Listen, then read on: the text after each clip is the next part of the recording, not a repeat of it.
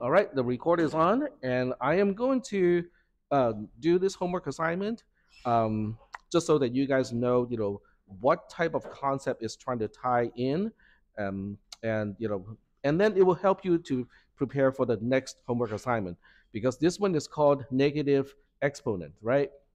So can someone guess what is the next homework assignment? There you go. Yep. Always you look for the pattern, right? Always look at look at the pattern and go like, okay, if this is all happening, what is the next thing that is going to happen? all right, so let me get started with this. Okay, and the way I'm going to do this is to use um, just GDB on the command line, or I can just do it here. No, I don't want to do it here. I want to do it on a GDB. Okay, so I will copy and paste this entire program and put it into the command line. And so we're going to go to um, let's call this negative exponent dot c is the copy and paste of the entire program. All right. So we are going to E10 to E2. All right, so let's go ahead and figure out what we need to do in this particular subroutine. Um, the first thing we need to do is to go back to the homework assignment and you know kind of read the instructions very carefully uh, because you know there are a few questions that people ask me and go like, hmm, uh, are you sure you have read the instructions very very carefully? All right. So the first thing is we do want to preserve the value being represented as closely as possible, okay? Because it we it can, it cannot be preserved entirely, but we just want to be as close as possible. So the value being represented is the sign, okay, times you know okay the sign determines whether we're multiplying with a negative one or one times the coefficient times 2 to the power of exp2 times 10 to the power of exp10 that particular value should should not change. You know, no matter what you do with the coefficient, with you know exp2 or exp10, this particular value should not change, or you try to preserve it as much as as much as possible. and then these are the requirements. The resulting coefficient should make the condition blah blah blah true. So the coefficient, you know, this particular requirement is basically saying the coefficient should use up all 64 bits. That's basically what it's saying. The other way to look at this is if you double the coefficient one more time, it is going to exceed what you can represent using a 64-bit unsigned integer. Okay, so that's what this requirement is trying to spell out.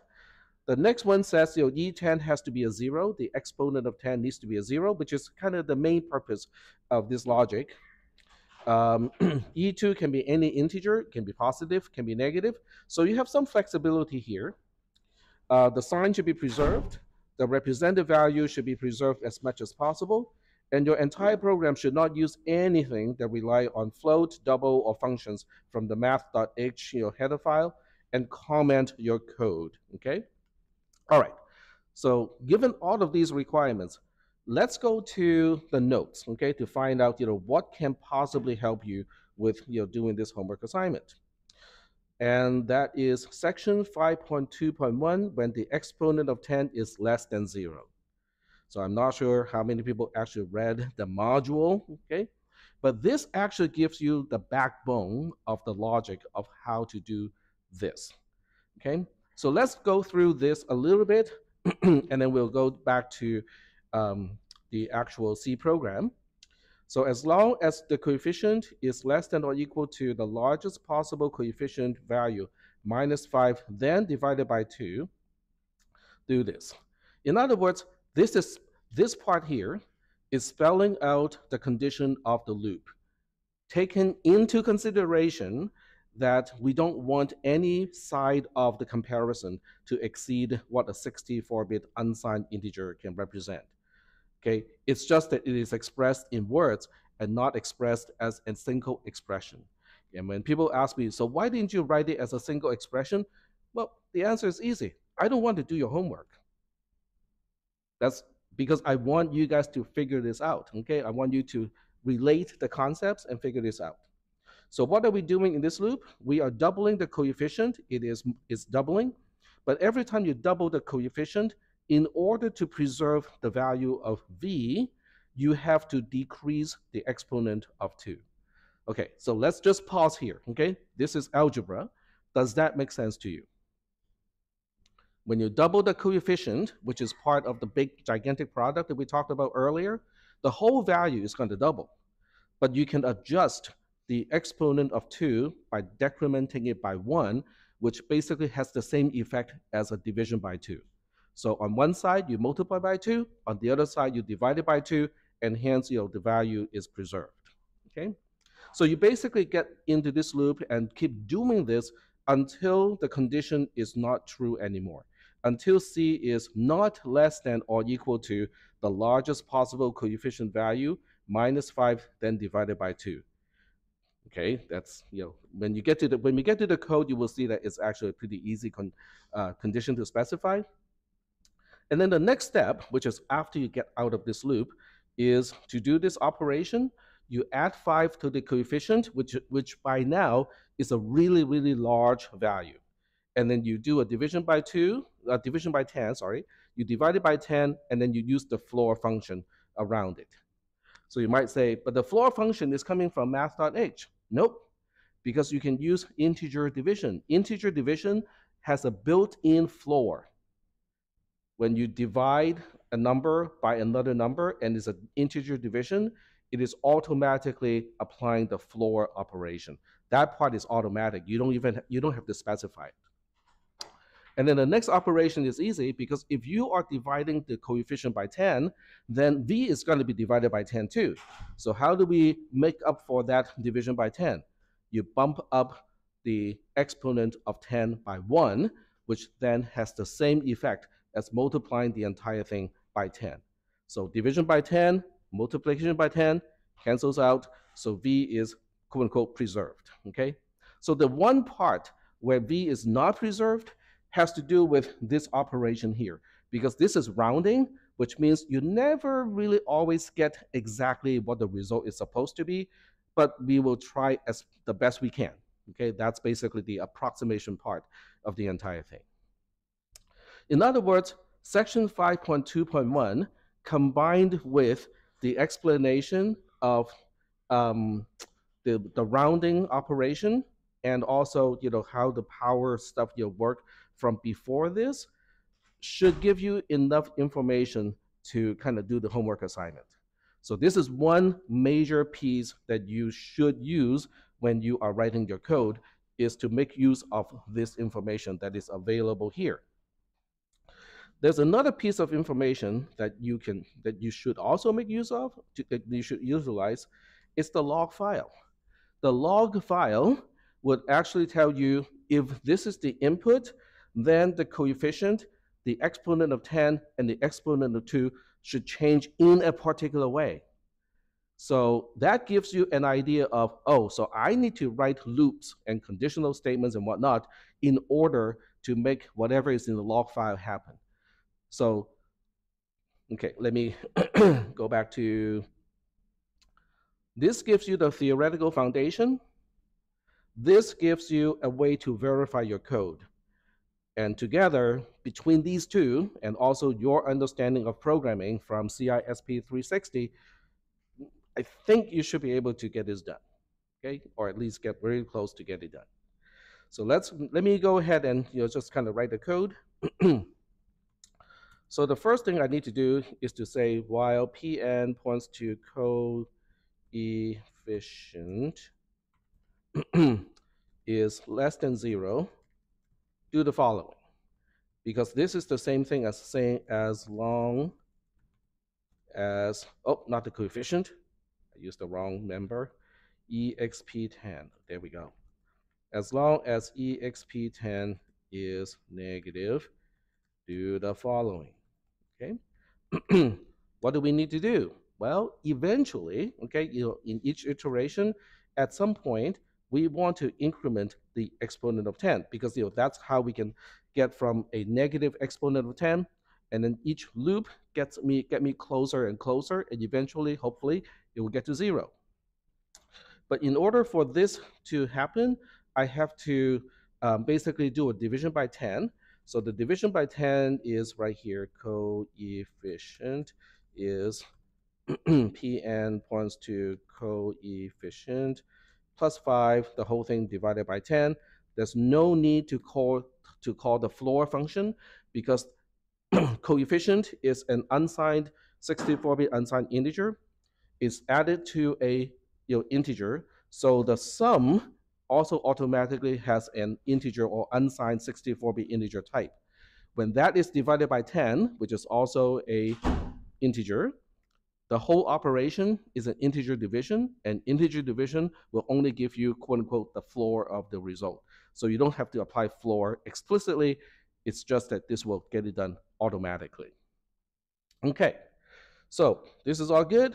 But before we do this, we have to maximize. Okay, so we have to say first maximize, maximize the coefficient before division by 10.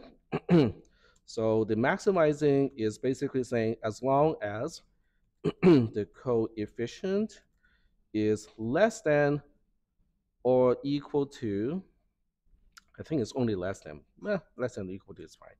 Um, the maximum number that you can represent using six, a unsigned 64-bit integer, that constant is u int 64 underscore max okay? Because you know, I told you guys you know, to look it up in the documentation of standard integer.h, and it defines the it defines the macro for you, okay?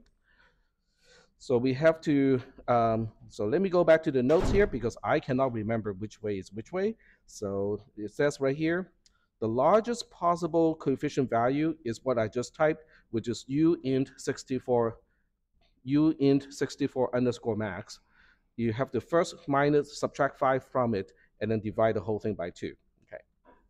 So this divided minus 5, the whole thing divided by 2.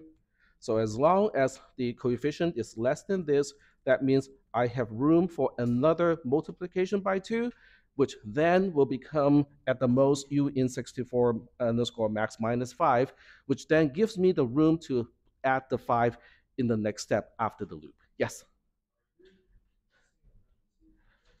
Uh, possibly. I don't think so. I'm not missing a pet red. Oh, I see. Uh, ah, okay.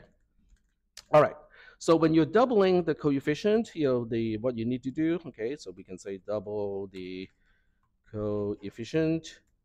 So that that can be expressed in many ways. um, but one easy way to do it is simply to say, let's multiply by 2.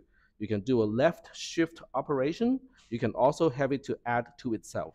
So all of those would do basically the same thing. But if you are multiplying the coefficient by 2, that means the, the entire product is going to be doubled, which means you have to do something to divide it by 2. And the way to divide it by 2 is to decrement uh, the exponent of 2. Because every time you decrement the ex exponent of 2, at the exponent of 2, the product that we saw earlier is going to be halved. So that's what we need to do to compensate for this, which is exp2 needs to decrement. And that's basically most of it, okay? if this is the code that you turn in, you will get a B, you know, as a letter grade instead of an A, because the, the coefficient after this entire thing is done is not going to use all 64 bits. Okay, this is going to be a little bit short. The reason why it's going to be short is really obvious.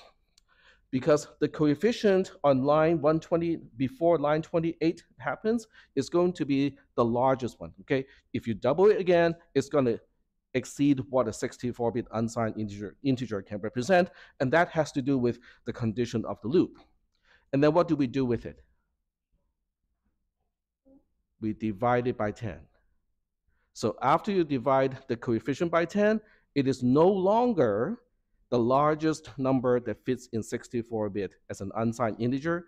So after you get out of the loop, okay, the last thing that you do to coefficient before you exit the while loop here is this division. So that means by the time you get out of the loop, you are guaranteed that the coefficient is not going to use up all 64 bits. So you have to do some final adjustment in order to make that happen.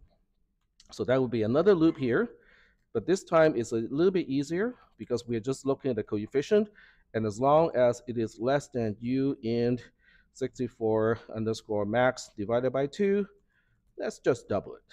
pn, okay, I'm too lazy to type, copy, paste, and adjust the indentation. Okay, so that's the entire program. All right, any questions about this particular program? Yes. Yep. Yep, have been recording since before I worked on this. Yep. When are we supposed to?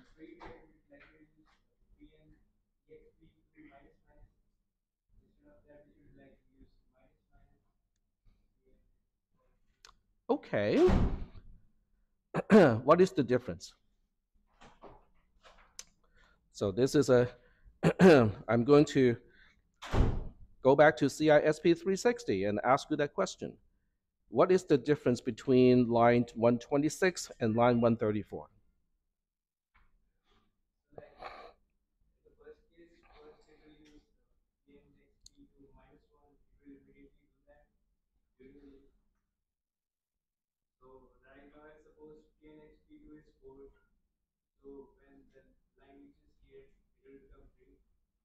Okay, so apparently your CISP 360 professor did not actually teach you the differences between a pre-increment or decrement in this case versus a post-decrement.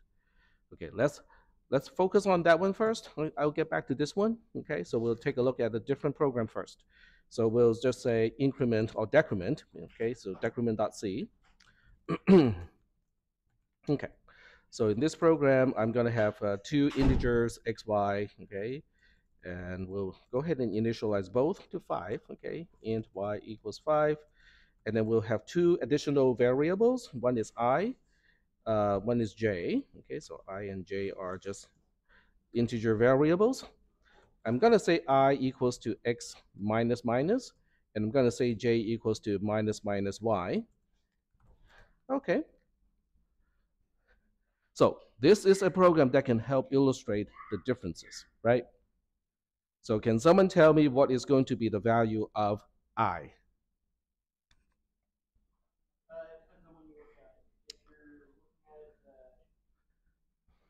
So let's just say that I'm looking at the value of i on line 10. I put a single breakpoint on line 10 and I want to evaluate the, value of i. What would it be? It would be 5. Very good. Excellent because as a pre as a post decrement, the value of the expression, okay, the value of this expression is the value of x before the decrement, which is 5. Okay? What about the value of j? It'll be 4 because it is a pre-decrement, which means the expression is giving you the value of the variable after it is decremented. Does that answer your question? Okay, actually it does not. actually it does not answer your question, but let me let's, let's see what, yeah, go ahead. The post decrement, um, we'll actually get to see that by the time we get to the stack operations. So, so there are cases where you want to use a post decrement, uh, yeah, or post increment because you really want the value of the variable prior to the change. But on the same line, you also want to change it you know, because it, everything is a shorthand, okay? These are all shorthands. In other words, if if you have a programming language that cannot do this, that does not have a pre or post decrement operator, then this line simply becomes, becomes i equals to x, and then you uh, have x equals x minus 1. It, you can break it up into two distinct um, statements and get the same thing done. The next line can also be done using two you know, indi individual statements, except this time you have to say y gets y minus 1, then j gets y. Yep. But if you were to like set the value of i to x on any line after that without any changes, then like what x is, it would be equal to fourth x. Say that one more time, please. If you were to set the value of i equal to x without any changes to x after that line it would be equal to fourth x. You mean like this? So if you use another variable, right? Let's let's say k. So k would get four. K would get four. Yep. Mm-hmm. So is that okay? Does that kind of help you guys understand, you know, the differences between pre and post decrement or increment? It only makes a difference when you make use of the value of the expression. In other words, this is an expression. X minus minus is an expression. In this case, the value of the expression is used to um, change the value of i. Minus minus y is an expression. In this case, the value of that expression is used to change the value of j. So, are we good with this particular example? Okay. Does anyone suspect my statements and really want to see this in GDB? Come on, come on. Let's do it. Let's do it. GDB is your best friend because you can use it to verify your understanding of your concepts um, to you know so much. Uh, oh, okay, okay. I wrong folder. I'm not in the folder where the file is. So let me change to that folder first. Um, do it again. Ah, okay. Picky, picky, picky. There was a time, you know, where the C compiler would just let me slip like this one. Like, yeah, I think you know what you're doing. We're fine. Nope, not anymore. Uh, GDB is not found. Why did I uninstall it? Ugh.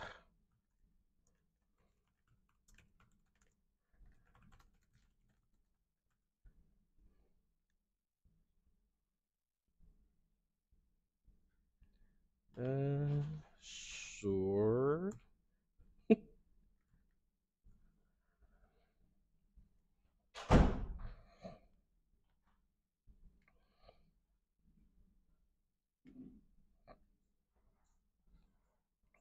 Okay, there we go. I apologize for that because I was maintaining my system and due to some kind of conflict, it deinstalled your GDB. It's back. All right, put a breakpoint on line 10, run the program, and then we print what is I, 5, what is J, it's a 4, okay, kind of as we expected, okay, very good. All right, so now we can get back to the program that we were looking at, which is negative exponent.c, and we are looking at this function here. So in this context, is anything making use of the, the value of the expression of minus minus pn points to exp2? Is it being utilized? No. So it wouldn't matter. I can change line 126 to a post decrement. It's going to be okay. Is that okay? Does that answer your question? I know it's a really long answer to your question, but I think it's necessary because this is a really, really important key concept that should have been introduced in CISP 360.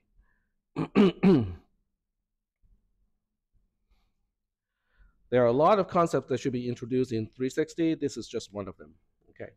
All right, so let's go ahead and run this program. Okay, so we'll do a gcc-g-o negative exponent x negative exponent dot c uh, gdb negative exponent like that and I want to put a breakpoint on main put a breakpoint on line 180 okay run the program, dash n 1.23, e negative 45. We are now at the breakpoint, print n in this case, and that should match what the log file says at the very end. Does that match? I think so. All right, so does that help you know, with your understanding of you know, the program and you know what concepts it's trying to tie together? Okay, all right. yes.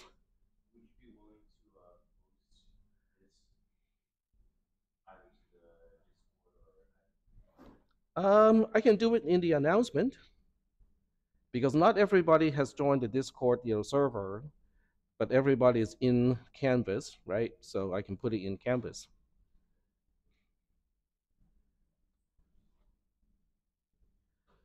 I can do it right now.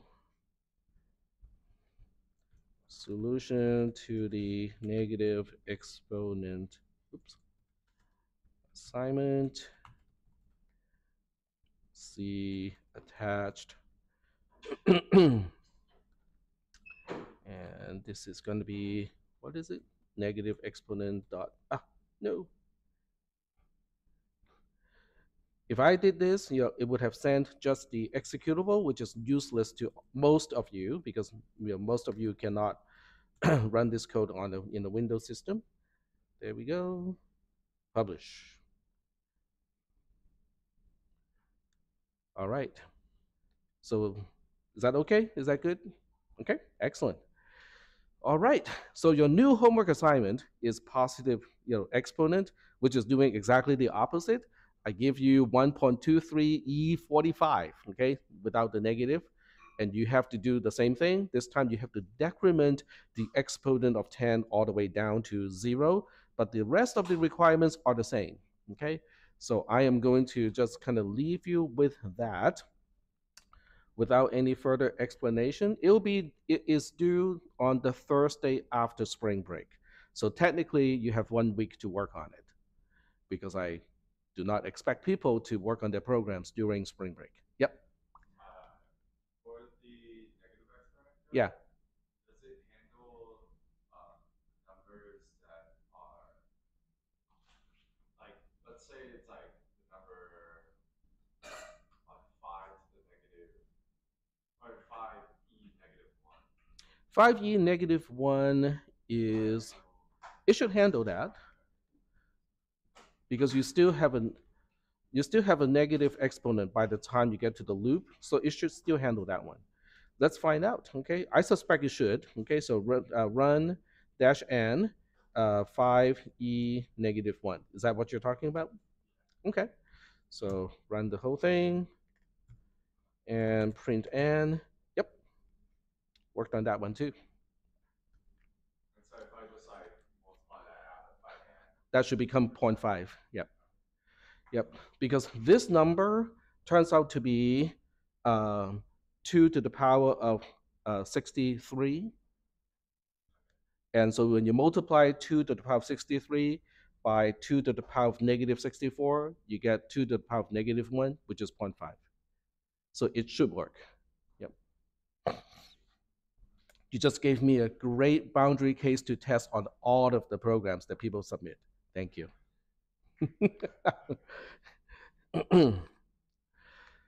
All right.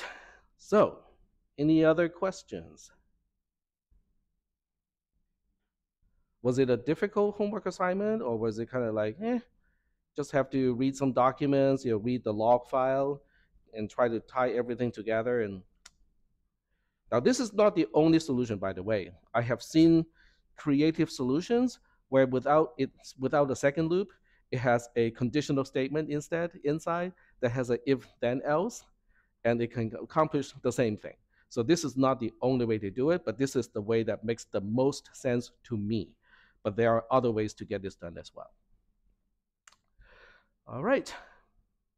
Are we ready to kind of talk about the positive exponent homework assignment. I'll talk about it a little bit, but I'll leave it up to you guys to find the solution.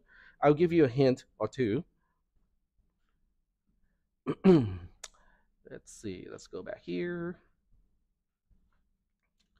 And we are looking at the positive exponent. Okay, it is due on the 21st, which is two weeks from today.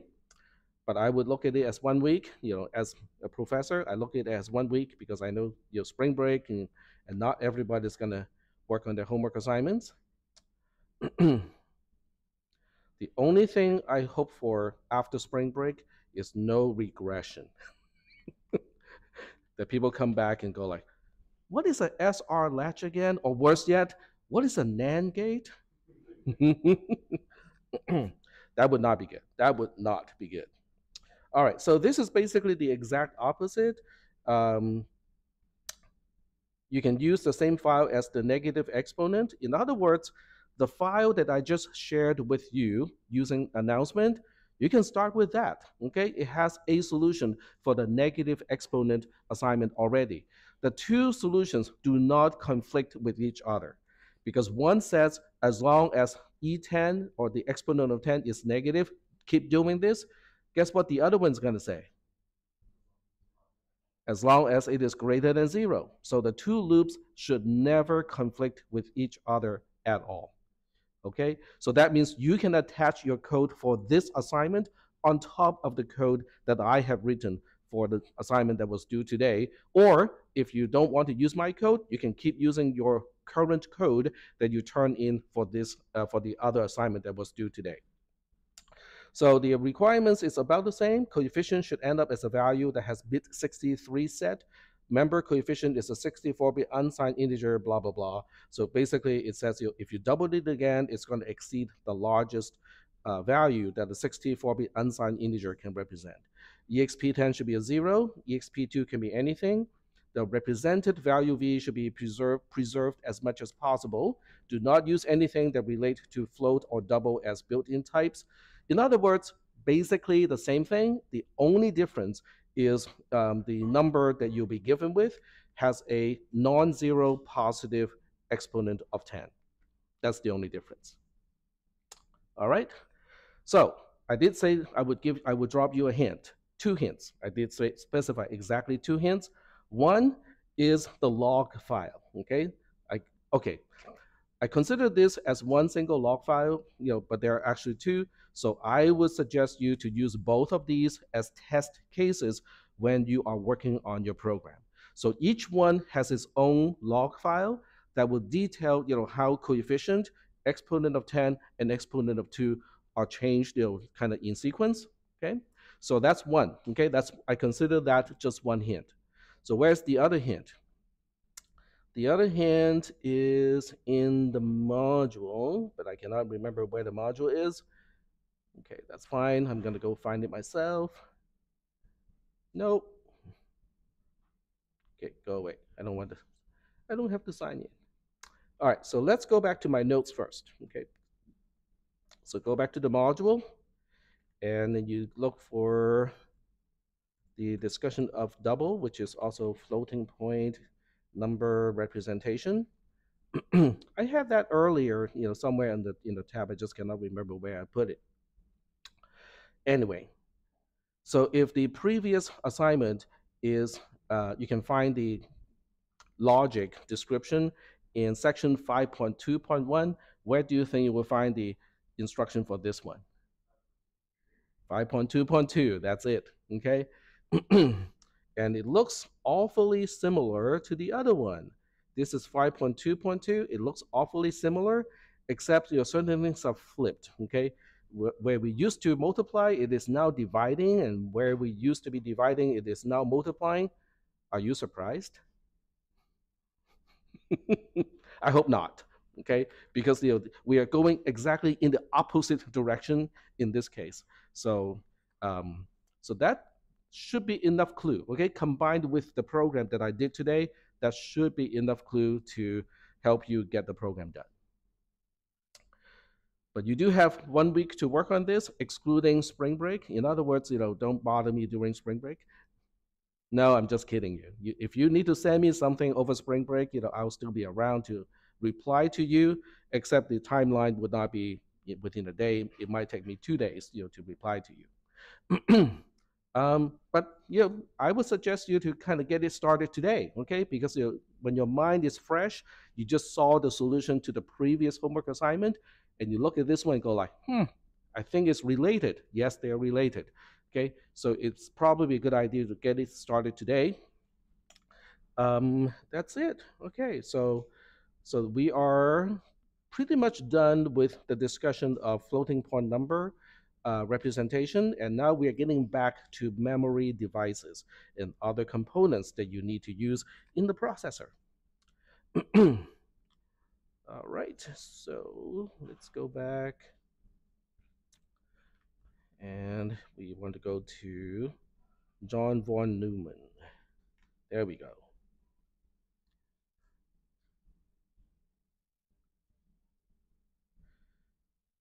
Are there any questions regarding the analysis of the SR latch from Tuesday?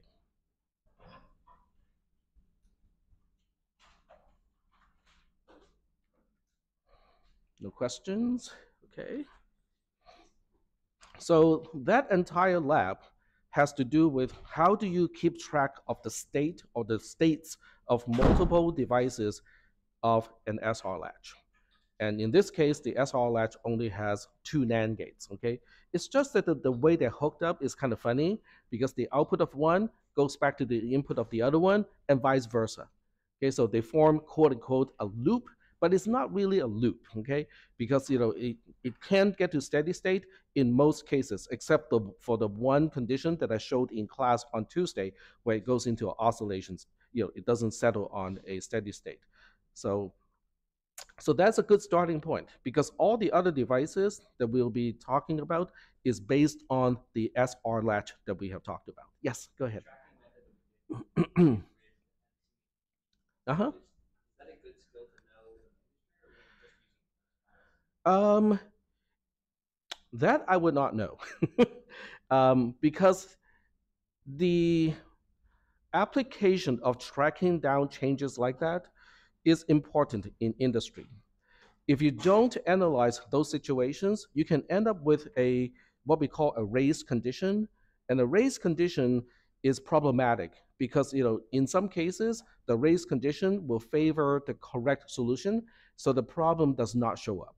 But as soon as you change uh, the die size, like the size of the transistor, the race condition can favor the wrong answer, and then suddenly everything does not work anymore. You can it can also lead to security issues. So I'm I, I know this is a really long answer to what you just asked, but I do want to give you guys examples. So I want to show this. I cannot remember the name of that particular flaw. It's a security flaw, but it's important. Um, so I'm going to just type down race conditions, security, problem. Oh, it has to do with caching. So all of these are important keywords. Uh, da, da, da,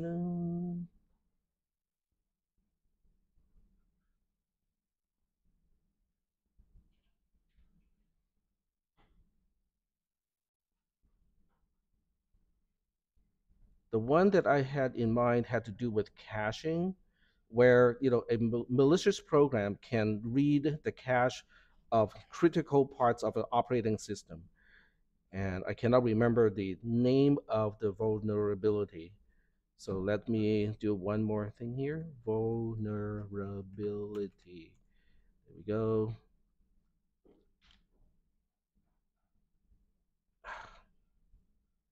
Okay, I'm gonna cheat here and ask ChatGPT. what was the vulnerability that has to do with race race conditions of caching.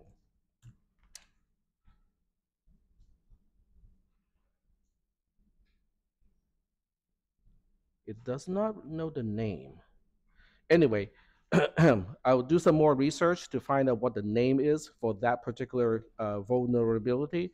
I think it has to do with either virtual memory or caching. Maybe it has to do with virtual memory. I cannot remember exactly you know, what it was about.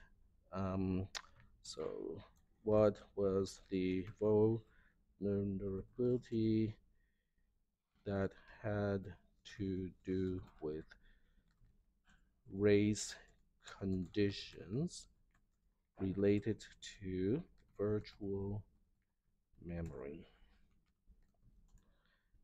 Okay. Was it called meltdown? Hmm? Was it called meltdown? Yep, meltdown. That is correct. Apparently, there's also another one called dirty cow. Uh, cow stands for uh, copy on write, which is a fairly common uh, technique for um, caching. But meltdown is the other one. You're correct. So vulnerability meltdown. there we go. Thank you. So Wikipedia has one rather long page to talk about this one. This is not a software issue. It is a it was a hardware issue. So I hope that this rather long answer you know, addresses the, the question. So industry, typically people in industry, they don't have to think about this too much, but then stuff like this happens. um, I'm not sure whether you guys are ready for another long story. Yes? Okay. you just want me to not talk about what I'm supposed to be talking about today. so many years ago, you know, I used to work for in the private sector. Um, so there was one product that we have been using for years. Um, and then one day we got a new batch of processors um, and the manufacturer said, we didn't change anything, we just reduced the die size. In other words, you know, they made the transistors, you know, smaller, so it saves power, you know, and but everything else, you know, should be the same. So we soldered those chips, you know, onto the single board computers that we were manufacturing, and send those out without testing because hey, you know, nothing is supposed to have changed, except none of them worked. Okay, so we didn't change the software, we didn't change the hardware, the manufacturer said the chips should behave exactly the same way. So what is going on, right? So I was tasked, unfortunately, you know, with you know, okay, tech, get this fixed, okay, and the whole company was breathing on me because you know. Uh, you know the relationship with all the customers who got this you know new batch of you know controller boards you know is at stake right so long story short, I would try to avoid, uh, you know, I'm, I'm not going to talk about all the drama that happened on that day. So long story short, it was a software issue, but the software issue did not show up before because of the race condition. The, so the software was not using the registers in the proper way that would lead to a race condition. But the older die, which had larger transistors, had the race condition to favor the correct outcome. So the problem, even though it was a software flaw, it never showed up. The new process with the smaller transistors favor, the timing favors the other outcome of the race condition, and then the problem suddenly popped up. We didn't change the software. The software had been flawed to begin with. But because the race condition was masking the software problem, it never showed up. So I think that also helped answer the question of whether this type of analysis is important. And the answer is yes, it is important. no, uh, I was a software engineer at the time, um, so that was long before I started teaching, you know, over here. So I just identified, you know, the wrong instruction, which basically wrote, okay, it was an 8-bit processor, so it can only write 8 bits at a time. But there was an I/O register, an input-output register that's by its nature 16-bit wide. So the manual specified that you have to write to the low location and then the high location, because when you write to the low location, it actually um, uses a latch, okay, to latch the change and until it sees the change to the high byte, it won't actually make it effective.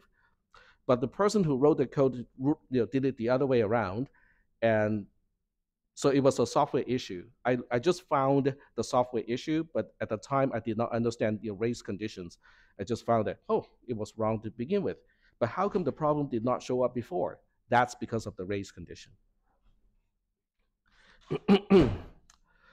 All right. So yes, I hope these you know kind of stories you know help convince you guys that you know, yep, all of the stuff that I teach here, you know, is going to come in handy at some point depending on where your career takes you. I was a computer science person by training, but I did work on you know um, low level stuff, you know, assembly language programming and other low level stuff, just because of you know that's where my job took me. All right, cool. so now we get back to the memory devices, okay, D flip-flops and other basic memory devices. So last time we talked about the SR latch. So I'm going to fast forward a little bit here, okay? We'll get back to this at some point, but I'm going to fast forward a little bit to this thing here, okay? So at some point in time, I decided it's too much work to describe the circuit in text, so I just drew the diagram so I can actually test it as well. So this is called a clocked and gated D flip-flop, which is you know a complex device. But you look at this and go like, hmm, but I recognize whole, you know, all the components. this is a SR latch. This is a SR latch. This is a SR latch. This is an AND gate. This is also an AND gate. In other words, this is something that we can construct like today. So the question is, what is that? What does it do? Well, it is called a D flip-flop. A D flip-flop, the D in D flip-flop means data. Okay, and the way it works is, in this case, data is what you want the device to remember. If you want to, if you wanted to remember a zero, you put that zero onto data. If you wanted to remember a one, then you put that one onto the data input pin. That's the job of the data input pin. Then what about the other two pins? Well, the other two pins have different purposes. This is the, called the enable pin. The, if the enable pin is a zero, the device would ignore everything. It simply says, I'm not going to do anything, regardless of what other values you're putting into the other pins. If enable is a zero, it simply says, I'm not going to do a single thing. Is that okay? All right. this is called the clock pin. The clock pin controls the timing of the update. So let's just say that you have enable being a one, okay? And you have presented the data that you want the device to remember onto the data pin. Nothing happens until we see a rising edge on the clock pin. So now I have to explain what is a rising edge. A rising edge means a transition from zero to one. Okay? At that exact moment, when the clock pin goes from zero to one, with the enabled pin being a one, the device will remember the value on the data pin, and that particular value would become Q. In other words, data and Q will quote unquote synchronize at the very moment with EN being a 1 and the clock pin is transitioning from a 0 to a 1. Yes? So you are using like a lot of these flip flops, they all have to be rising edge for them to Um, most of them would use one particular edge, you know, because it can be rising edge or falling edge um, the way you change the direction of the edge or to change edge sensitivity, which direction it goes, is simply to introduce a NOT gate if you want to right here. If you put a NOT gate here, then your clock sensitivity will be opposite. Because a one becomes a zero and a zero becomes a one, so it changes you know, which way it's sensitive to. okay. So you guys look at this circuit and go like, well, Tech, you can say whatever you want. I'm not really sure the device works the way that you just described it. It sounds really kind of complicated. Well, that's why we have Logisim. This is actually done in Logisim. I don't have the file with me, which is great because I can now do it in class so that you guys can see how to make that particular circuit. so here is Logisim, okay? And what I'm going to do is to do the trick that I did last time, okay, which is you know kind of copy and paste this image here, make it um, always on top. So this way I can always keep a visibility on this particular window and then switch back to Logisim in order to create the actual circuit. Uh, okay, I'll stash it over here for now. And then I'll put Logisim all the way over here. and we'll create a circuit. Okay, so we have three input pins. Now, when you draw a circuit, it's best to use the input pin on the toolbar because that already has the um, the three state control you know, being turned off, you know, which is usually what how I you would prefer that. So just a little tips here. This is clock. This is enable en, and this is our data pin. All right. So we have two AND gates. So with AND gates, we go to the gates category, go to AND, pick out one, you'll change it a little bit. Okay. and then duplicate this one because you know, the second one, I wanted to have three input pins. So I'm going to change the number of input pins to three. And then we'll we'll make the design a little bit more compact, you know, because I don't have as much space as the other one. There we go. And we'll label these two. This is uh, A1 as AND gate 1. This is A2 as AND gate 2. Now we don't have any SR latch. Now we do have SR latches in Logisim, but that's not the one that I want to use. So what I'm going to do is I will create my own SR latch circuit. Okay, so we'll just call this SR for SR latch. And I hope you guys still remember how to make an SR latch from last time. We pull out two NAND gates, change the input to two, make it narrow, like so, duplicate. And this time I'm not going to bother to name the individual components, you know, simply because one, I don't have the time, and two, it is not necessary because you know it's symmetric. You know, if you look at the circuit with a mirror kind of in between here, this, the circuit is symmetric. So we have output pins, like so. This goes here. This goes here. This goes all the way back to ah, here. And then this one has to be drawn like that. This goes here.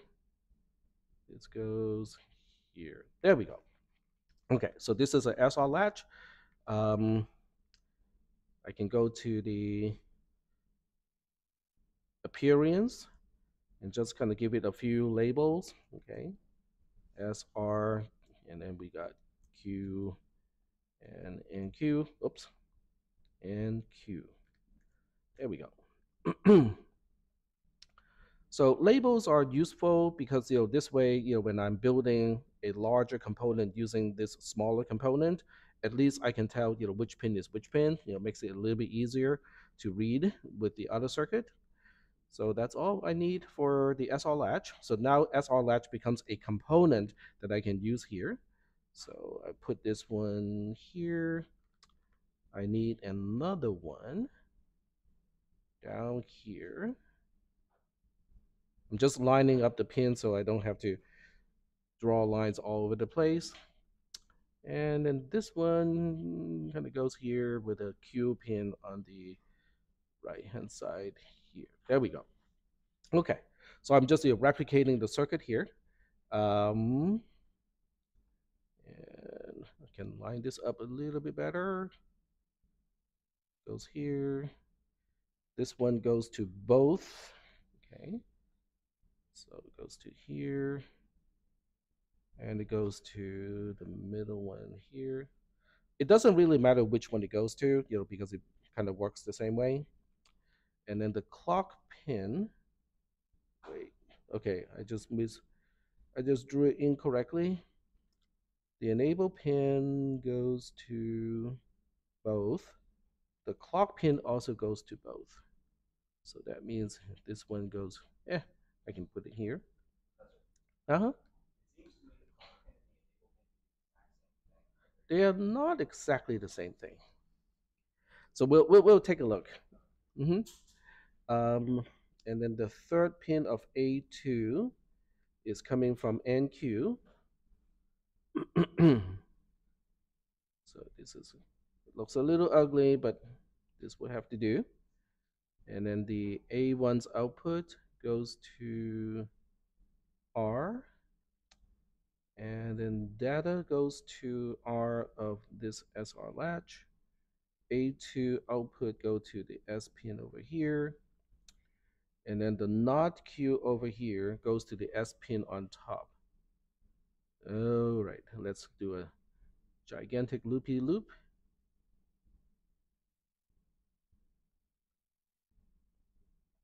There we go. And then the other pin Q goes to the R here. And then the this pin also go to the S pin over here. And then this goes to the output. Okay. Okay, let me just double check, make sure everything looks good.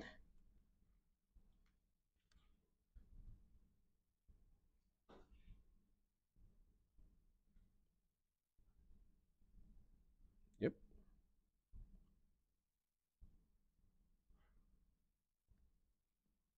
I see what you mean when you said you know, uh, clock and enable seem to be symmetric because they they both connect to both two pins of A1 and A2. All right, so what we'll do is we are now going to test the circuit.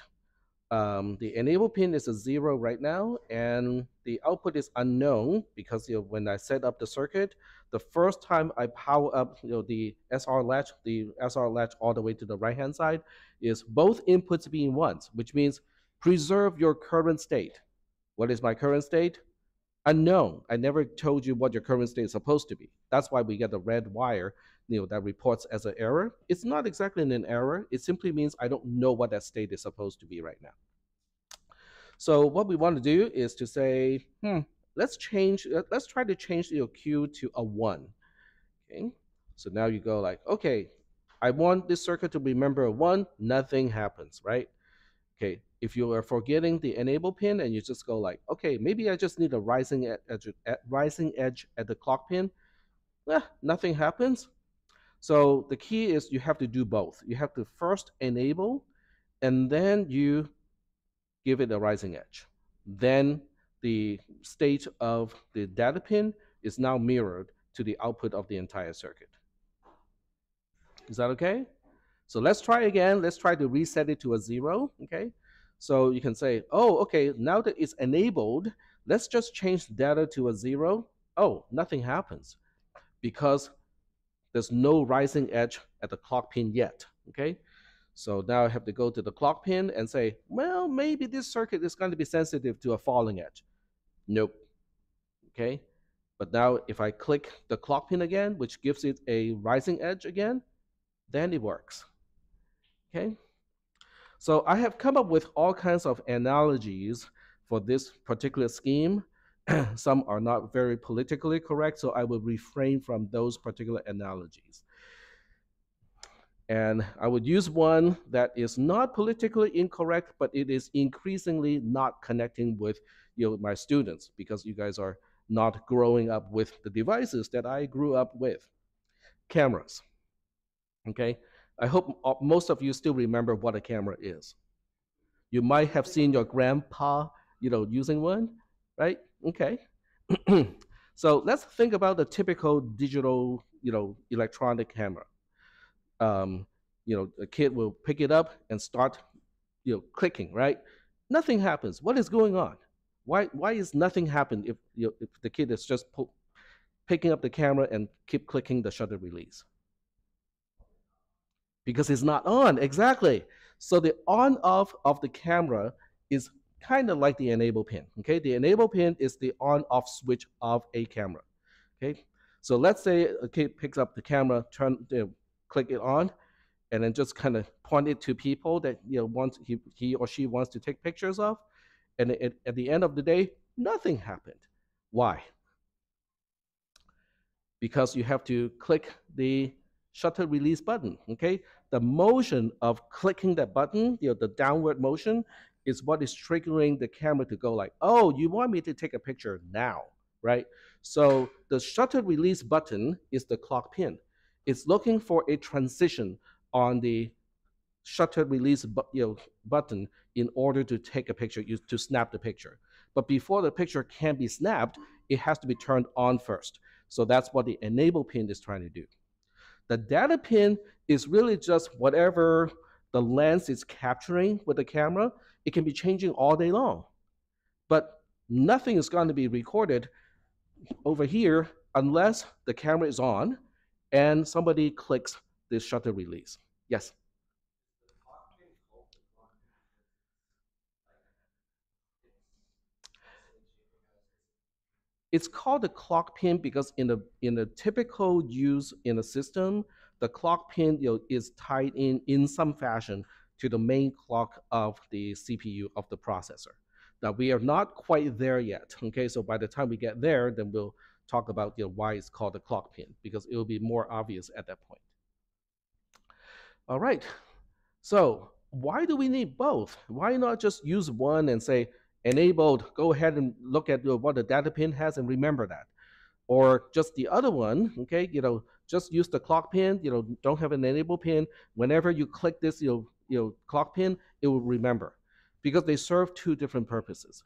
Think about an orchestra, okay? Think about a band, an orchestra, or whatever, you know, um, uh, music ensemble that you're used to. Okay, so typically you have a conductor, right? The conductor is going to kind of use a baton and you know kind of wave stuff, right?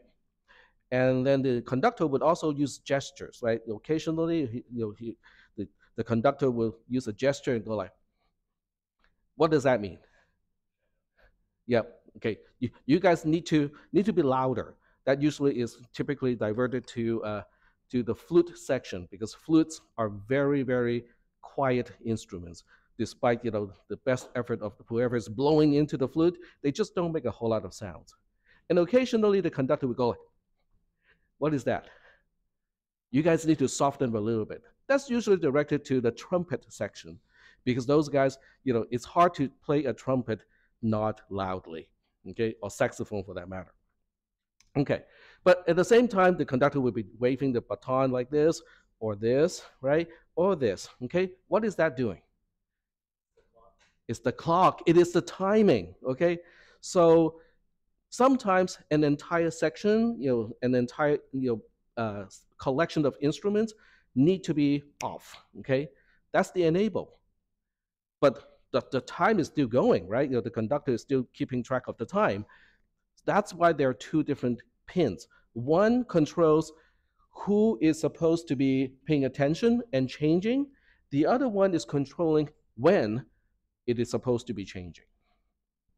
Okay, so that's why we have two different pins. Is that okay? Is that analogy working? All right. so now that we have talked about this circuit, it is not the end product, but it is pretty close to the end product.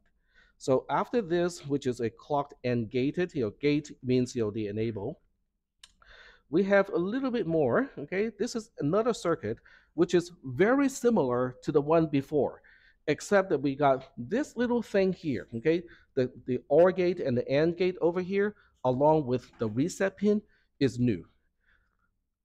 This is necessary because when you first power up a computer, what do you think are the states of the individual D flip-flops in the, in the system?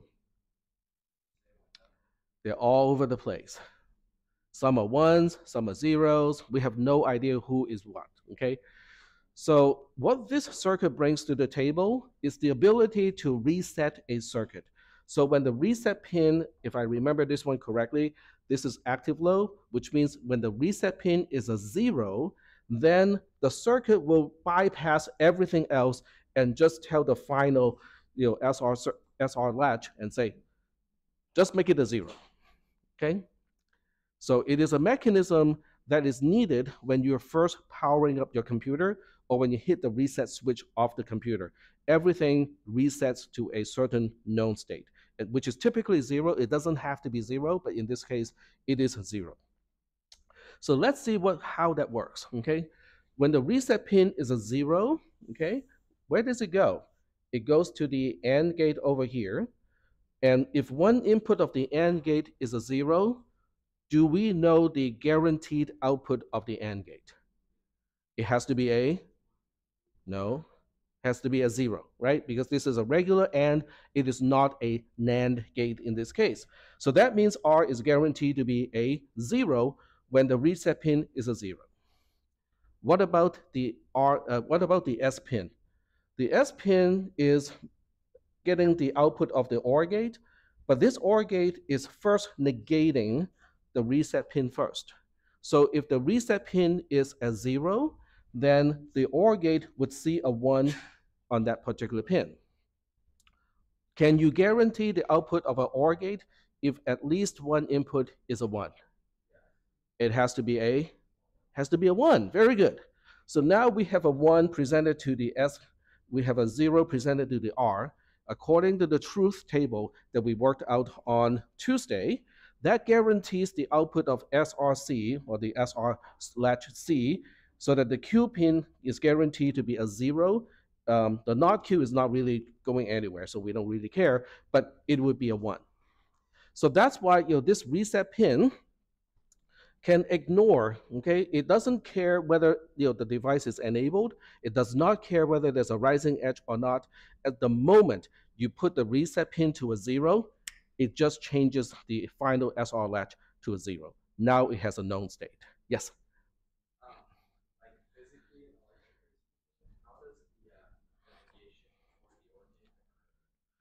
Um, that's a very good question. Um, just symbolically speaking, this is the way we like to do it. But the other way to do this is you can just put a NOT gate symbol over here before it feeds into the OR gate. You know, most people do not like to draw NOT gates, you know, because you know otherwise you end up with a lot of NOT gates. So putting a bubble at the input pin of a particular device is the same as having having that input negated. Um, the bubble is also used for output negation, and that's why the NAND gate has a little bubble at the output compared to a regular AND gate. So all of these symbols have you know, certain meanings, and they're usually very consistent. All right, so this is a resettable, you know, D flip-flop, you know, where at, at the power up of a system, the reset pin can be held low or zero, for a certain period of time to make sure all the devices start with a known state, which is zero in this case. So are we still doing okay so far with all of these explanations? Yes, go ahead.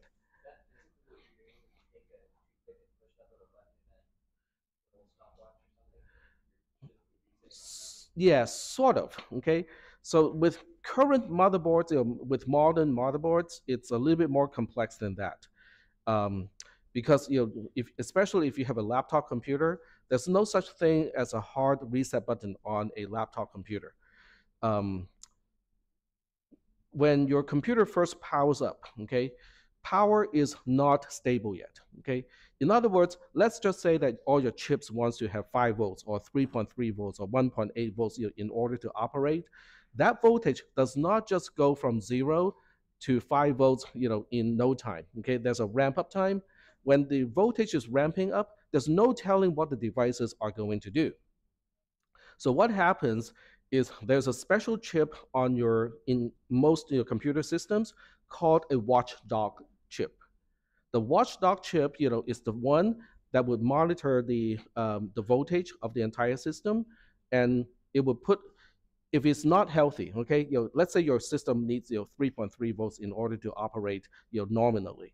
So until the voltage gets to 3.3 volts, the watchdog chip, you know, because of the electronics in the watchdog chip, will hold the reset line zero. So your entire system is quote unquote you know, held in a reset state until the voltage gets to a healthy state. Then it releases the, the reset, and then your things will start to operate. It is also the same kind of watchdog mechanism that gives you the blue screen of death. Okay, so what is the blue, the blue screen of death and how does it happen?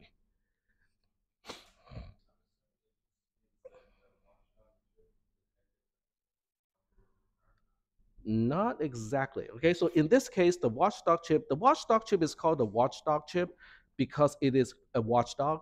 which means periodically it has to be okay. I hate to use this word, but that's you know technically what people call you have to hit the watchdog, like periodically.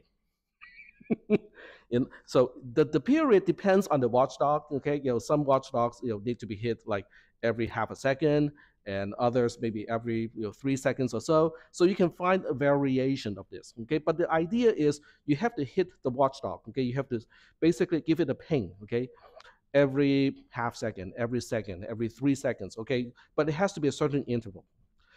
What what if you don't give it that you know in what if what if you don't give it that little ping every half second or so? It times out and resets the system. That is when you get the blue screen of death.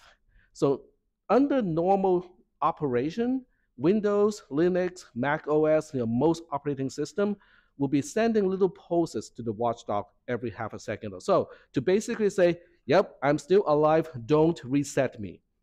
Okay? When something really, really bad happens, that mechanism stops working. In other words, your operating system is getting into a non-interruptible state that it just hung up. Okay, it, it's really really bad. Okay, you can have a have a crash and not get into the blue screen of death, but occasionally get into that con condition where you know the mechanism of hitting the watchdog, which is a software mechanism, stops working. That is when you get the blue screen of death because the watchdog would issue a NMI, which stands for non-maskable interrupt, which basically means there's no way for the processor to ignore that particular interrupt. When that happens, it will go into a special routine depending on the operating system. In the case of Windows, that particular routine will give you quote unquote the blue screen of death. Okay, basically it gives you the option of showing you a few code on the screen and also doing a memory dump onto the hard drive so that this way you can do forensics afterwards to find out, okay, what caused this whole thing to happen. You can examine the entire memory content of the system, your post-mortem basically in that case. So I know this is way beyond you know, the scope of this class, but at some point, someone in this class is going to run into these you know, design decisions and hopefully it will be useful to someone. this is also how uh, your phone sometimes it can decide that it is in a bad state and it will restart itself. It's because you know the software is so corrupted or so crashed that it cannot hit the watchdog anymore. And then the watchdog times out, and then your phone just decides, I'm going to restart myself. So it's, it's a safety mechanism for the most part. All right, okay, so now we are moving on to the last portion here. So if you look at this thing as one single device, and you just go like, what happens when we make a whole kind of link a whole bunch of these things together in this particular way?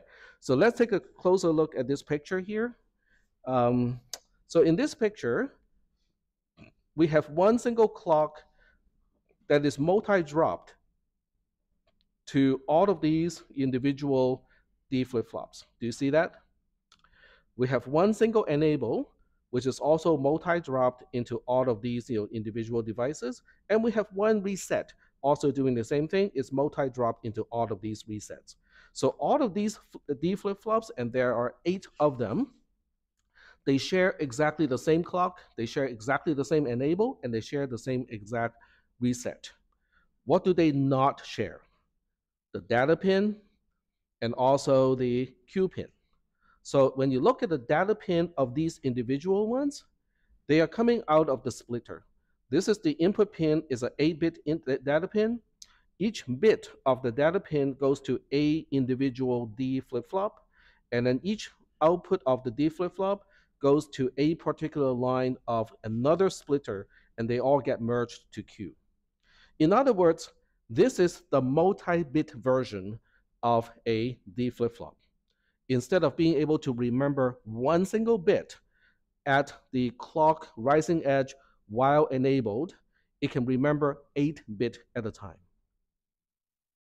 Is that okay? That's it. But it has a special name. It is no longer called a D flip flop. Now it is called a register. So a register is basically a multi-bit D flip flop. Essentially, that's what it is. And we use registers to remember things inside the processor. Now, by the way, this is not RAM, okay? RAM or uh, random access memory is not like this, okay? This is basically a component inside the processor itself. It is not in RAM. All right, so at this point, we are really getting close to talk about the entire processor. And tonight's lab, there is a lab tonight. So tonight's lab is to look, examine uh, two specific devices. So let me give you the access code, and then we'll talk about it just a little bit.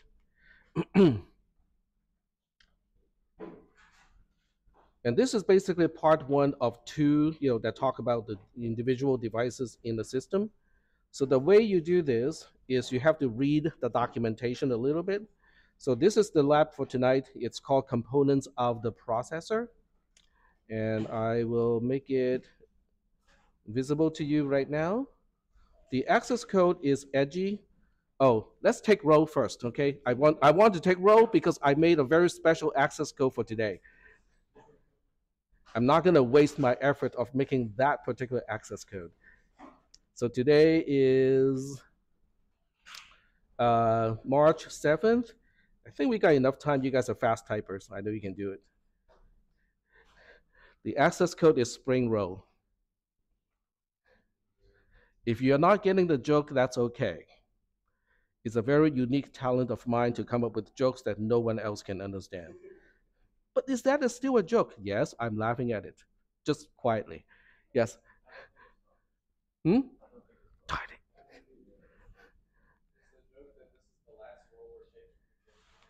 Yes.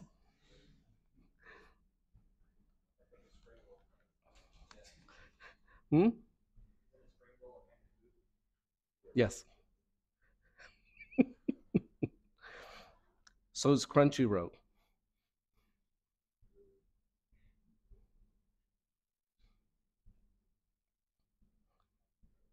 Do you, do you need more time? Okay, I'll, I'll give I'll get you guys more a little bit more time. But after this, I still need to go back to Logisim to show you what you need to do. Okay, so I will extend the time a little bit to 7 p.m. I think that should be sufficient time. All right, so don't leave just yet because I still need to go back to Logisim to show you a few things. All right, so going back to Logisim. So for tonight's lab, you need to read some documentation on your own. Uh, you can go to help, go to library reference. Okay, let me bring that window up here. All right, so once you get there, uh, you have to read what is a multiplexer.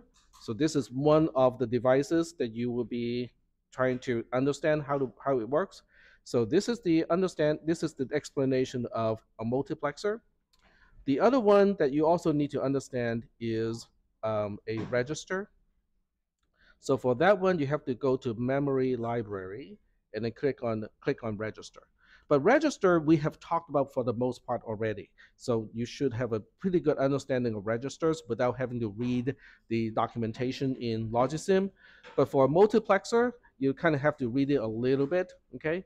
Um, I can give you a long a really quick summary of what a multiplexer is. A multiplexer is a switch. Think about railroad, okay? So you can see, you know, the entire country has you know, multiple railroad and you know, trains can go everywhere. So what happens when two tracks need to merge into one? There's a switch in between, okay? So a multiplexer is essentially a switch. That's all it is. It has multiple inputs and one single output. And then it has a control mechanism to specify, oh, so which input should I connect to that one single output? That's basically the essence of a multiplexer. Yes?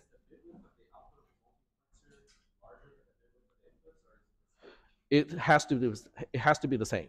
So if your input has like four, if each port of the input has four bits, then the output also needs to have four bits. Um, it's basically whatever this port is seeing becomes the output of the multiplexer. But you have multiple input ports that you can connect to the output. Yes, exactly. Yep. So it, it is essentially a railroad switch. So you need to have other input pins to specify how should I choose the input. Yep. So with that, you know, the documentation should be a whole lot easier to understand. All right, so I'll see you guys over there, and I'm gonna upload the lecture right now.